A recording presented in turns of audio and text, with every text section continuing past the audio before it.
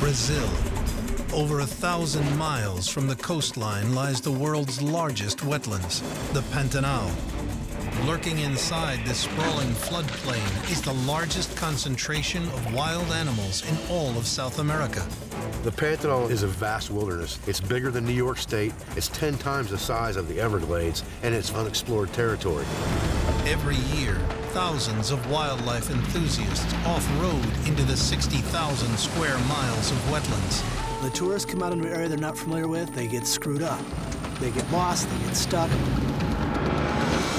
In this case, we have two travelers.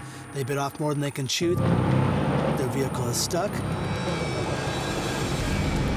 Abandoning a disabled vehicle in a desperate search for rescue is an error that claims lives every year. There is no road walking out of this area. Where there's great beauty, there's also great danger. And here we are right in the middle of it. Lost in the swamp and searching for civilization.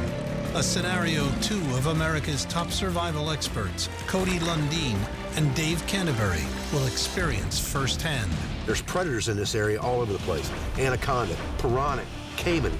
These things are all swimming around this water. You never even know they were there until they hit you.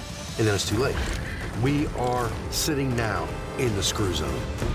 Two men, two styles, one challenge. Survive together. Dual Survival.